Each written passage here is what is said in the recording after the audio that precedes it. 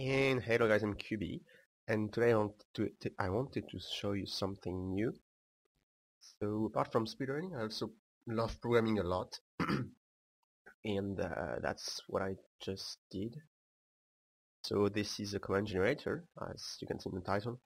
So it's um, an external program, it's not a mod or anything, it's just something that you can uh, launch on your computer, and basically you can select a command and it will generate the the command itself for you so, for example, if I want to fill an area, um, and I want it to be uh, 40 by 40 um, relative to me, and I want to fill it with chests, and those chests I want them to contain uh, some items, and for example, let's make a banner in it.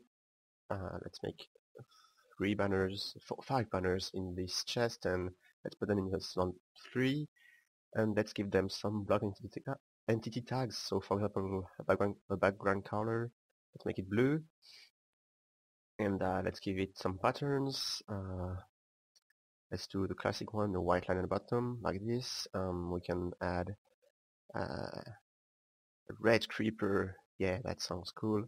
And uh, what? A black, a black gradient. Yeah, like this.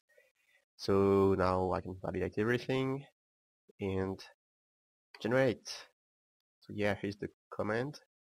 Uh, fill with the coordinates relative to me, a chest, zero replace, and uh, the item uh, that has his block tags, the base, the buttons, and yeah.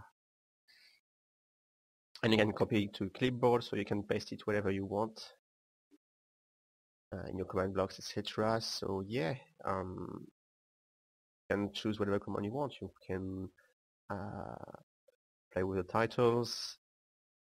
Um, you can well, so you can play sounds too. Uh, here you can choose the sound you want to play. Um, you can summon mobs, entities. So here you can choose the entity you want to, to summon and entity tags there's a lot of those. That's what took me the longest time to do. Um, you can basically give you an item, and those are all the items available from Minecraft. And yeah, so it's related for the latest snapshot, and uh, I know the 32A has uh, been updated, and yeah, I'm planning on uh, updating my program today, so maybe tomorrow it will be available from the for the latest snapshot means 30, 32A so with the um, with the red sandstone red sandstone and the how it called um, the armor stand. Yeah so I'll do that for tomorrow I guess. So yeah.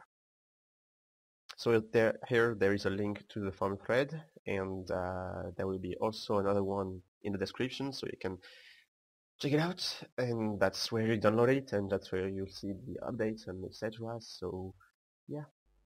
So thanks for watching guys and see you later